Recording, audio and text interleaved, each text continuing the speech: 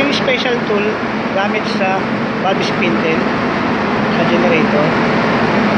Nagamit ko lang isang beses to. Kaya lang parang komplikado. Kaya susubukan kong gumawa ng akin.